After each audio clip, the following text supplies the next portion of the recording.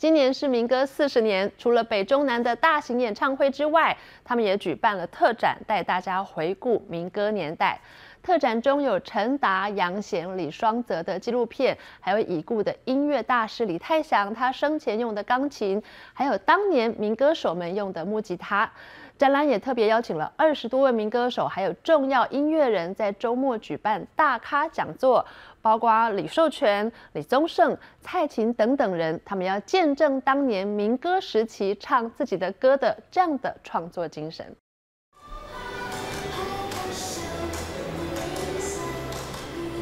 守着收音机，等着自己写的歌被播送出来。这在一九七零年代，是许多玩音乐、爱听歌的人每个礼拜最期待的事。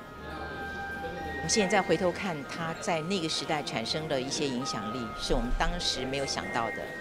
那整个的流行音乐，呃，台湾的流行音乐可以在整个华人的流行音乐里面，到后来变成这个领先的地位，其实都跟当年的民歌多多少少有点关系。那所以我看到那一些事情，我才会很深刻的感慨的，觉得我自己好像没有白活。觉得自己没有白活的资深广播人陶小青，走在复刻当年广播录音室的展场，涌现回忆。一九七零年代，台湾在国际上越来越孤立，台湾年轻人从崇拜西洋歌曲，开始自己创作，唱自己土地的歌。接着金韵奖、民谣风等民歌比赛，再将这波民歌风潮推向高峰。有一些前辈在一九七零年代，他们是突然就从平地一声雷，就是譬如陈达。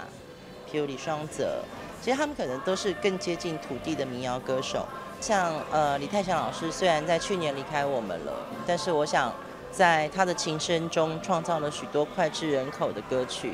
所以我们这次也特别的展览了李老师的这一款钢琴。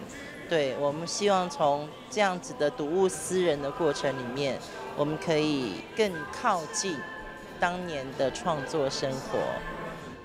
展场中有上百种民歌文件和多位民歌手珍藏的第一把吉他，黑胶唱盘铺起的墙面，一场场为心智障碍儿童举办的演唱会海报，还有陈志远、李泰祥、李宗盛等音乐人的珍贵乐曲手稿、老照片和旧录像，也以动画的方式重现当年民歌风华。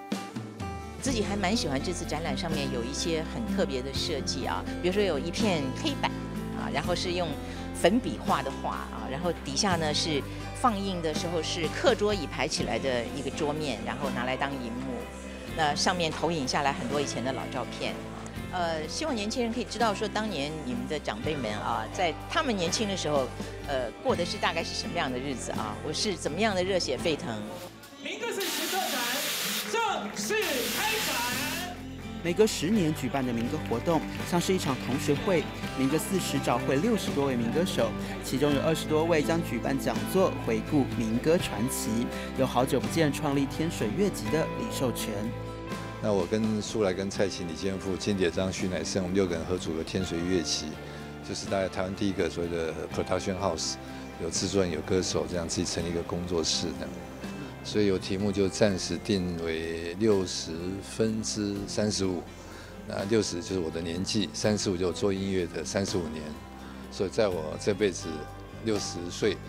还是有三十五年都在做音乐，所以我就从这边去讲，所有我做音乐的过程，所有做做音乐的一些感触啦，或者当年唱歌的小伙子们，很多人都成了台湾流行乐坛的一哥一姐。民歌不是老东西，它是用音乐创作传下来的文化和创新精神。